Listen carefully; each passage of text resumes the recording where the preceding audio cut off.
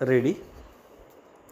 This is an appeal preferred by the state under section 378 of the Criminal Procedure Code 1973 against the order of acquittal dated 15th November 2010 passed by the special judge Chhatrapati Sambhajinagar in special case number 12 oblique 2012 para.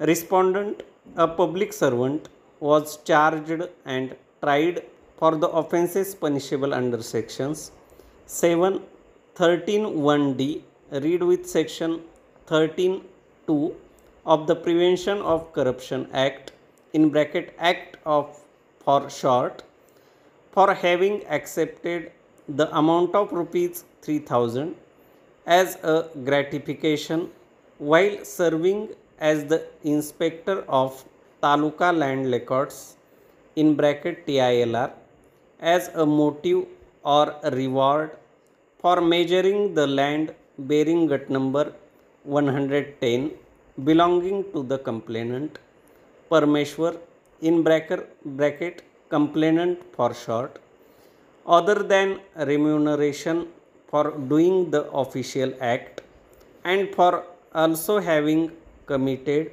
misconduct by abusing his position as a public servant para that before adverting to the facts of the case and the arguments advanced by the learned prosecutor for the state in support of appeal and Mr. Khandare, learned counsel for the respondent, it may be stated that in the proceedings instituted against the order of acquittal, it is open to the High Court to reappreciate the evidence and conclusions drawn by the trial court, but only in a case when judgment of the trial court is stated to be perverse.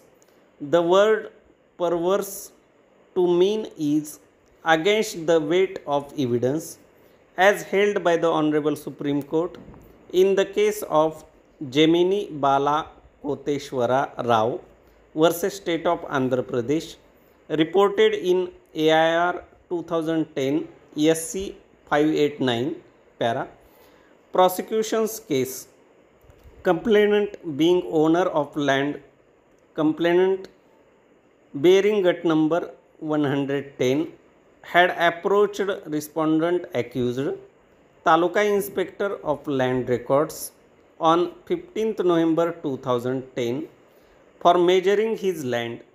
Complainant was told by the respondent to deposit rupees 2000 official fees for measuring the land.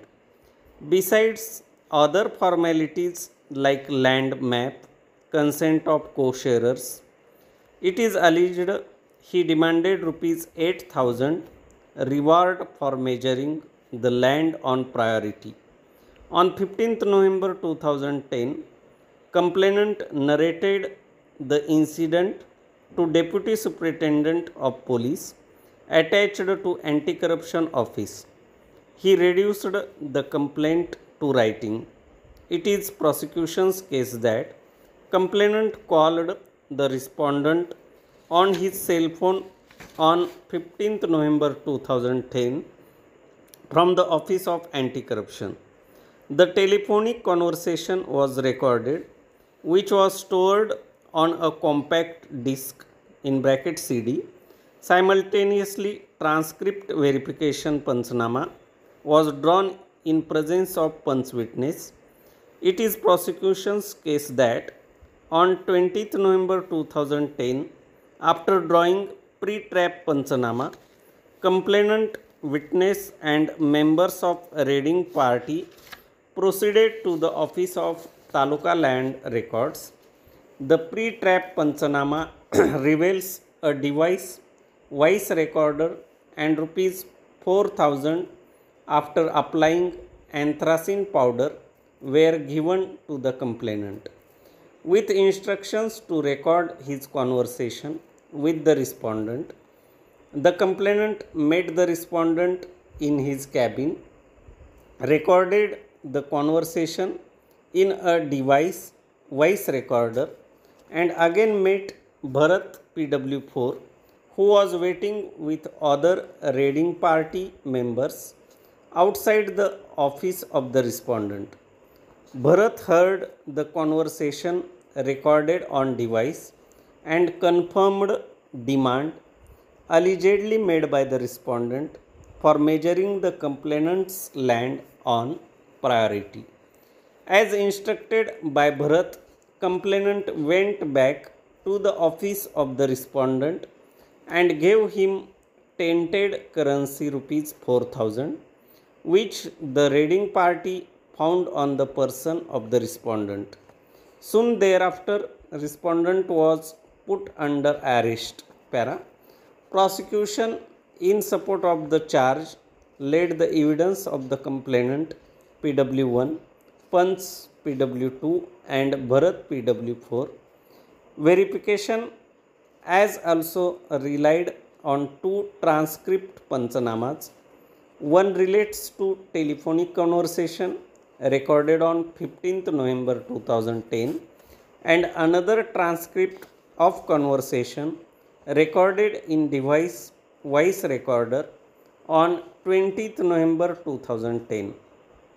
Reliance was also placed on report of spectrographic test para so far as telephonic conversation transcript verification panchanama and the conversation recorded on voice recorder is concerned, it may be stated that both the conversation were stored in the compact disc in presence of panchas. Para.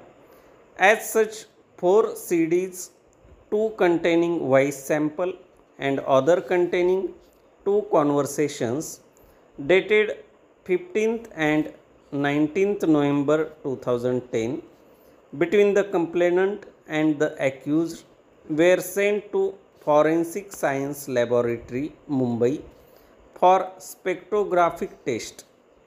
In my view, sound stored in CD is electronic record in terms of section 2F of the Information Technology Act 2000 a secondary evidence. Thus, unless evidence of this nature is not supported by a certificate required under section 65b4 of the evidence act it is to be kept out of consideration.